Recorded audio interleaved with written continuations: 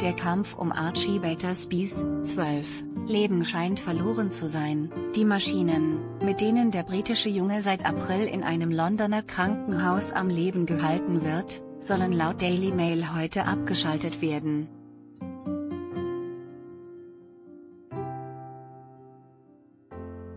Eigentlich wollten die behandelnden Ärzte bereits gestern die lebenserhaltenden Maßnahmen beenden.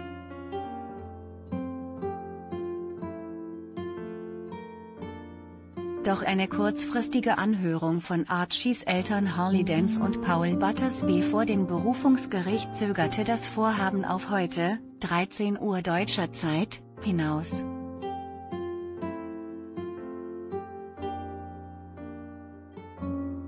Jeder Tag, an dem Archie weiter behandelt wird, geht gegen das, was für ihn am besten ist, begründete der Richter die Entscheidung.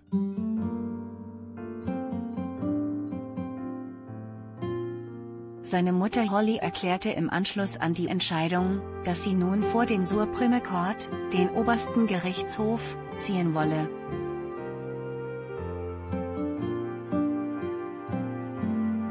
Ob das jedoch jetzt noch das Leben des Jungen retten wird, bleibt fraglich.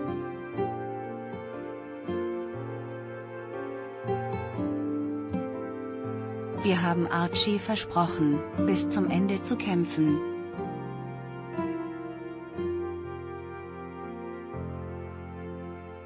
Und Archie kämpft auch noch, so seine Mutter.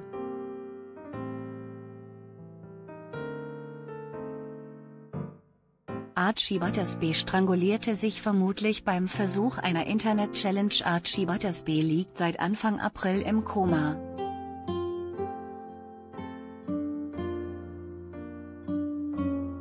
Damals fand Harley Dance ihren Sohn zu Hause bewusstlos mit einer Schlinge um den Hals.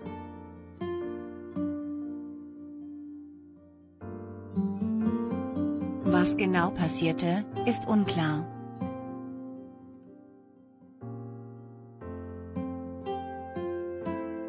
Seine Mutter vermutet aber, dass der Junge an einer TikTok-Challenge teilnehmen wollte.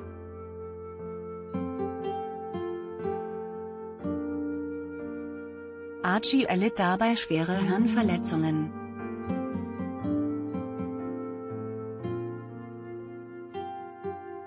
Seine behandelnden Ärzte halten ihn für Hirntod.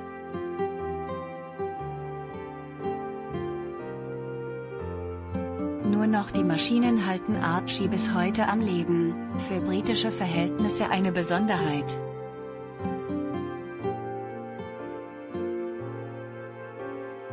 Das Problem im britischen Gesundheitssystem ob und wie lange lebenserhaltende Maßnahmen durchgeführt werden, entscheiden in Deutschland die Angehörigen, außer es gibt eine Patientenverfügung.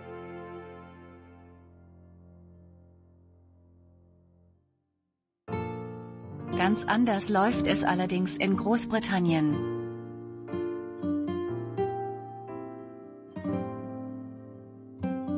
Haben auch Richter und Ärzte ein Mitspracherecht.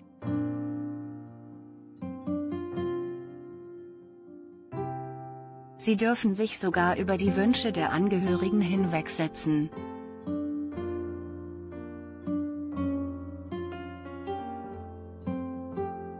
Ein weiteres Problem, durch fehlende Gelder im Gesundheitssystem werden lebenserhaltende Maßnahmen viel früher gestoppt.